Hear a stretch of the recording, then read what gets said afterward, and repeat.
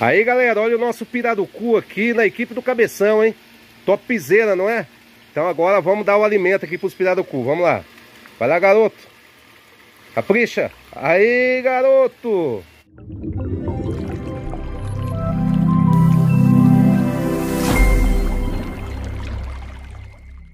Pessoal, olha só, tivemos um probleminha, né? Estamos resolvendo, ou melhor, já resolvemos, né? E nós estamos com a nossa construção em BH do nosso projeto super intensivo, tá? E a gente vai estar tá apresentando para vocês aí nos próximos vídeos, tá ok? E lembrando também que a gente vai estar tá na Expo Londrina, é pessoal, e a equipe do Cabeção com tanques no Biofocus e tanque do sistema Haas. Nós vamos estar ali fazendo atendimento bacana para todos vocês, tá certo?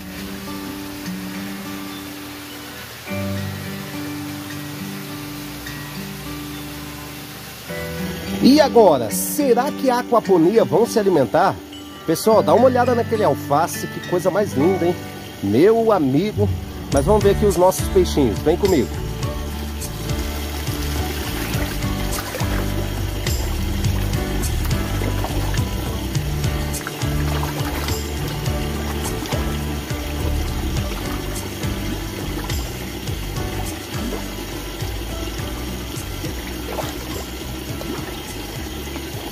Ô galera, olha só, se alguém perguntar para mim assim, André, vale a pena ter uma aquaponia?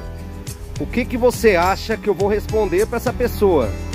Ou melhor, o que, que você responderia quando você vê uma cama de cultivo nesse formato, com os peixinhos se alimentando nesse formato que você acabou de ver?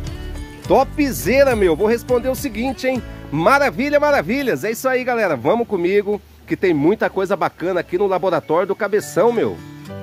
Aí pessoal, olha só, como vocês já sabem, nós temos aqui a nossa aquaponia, tá certo?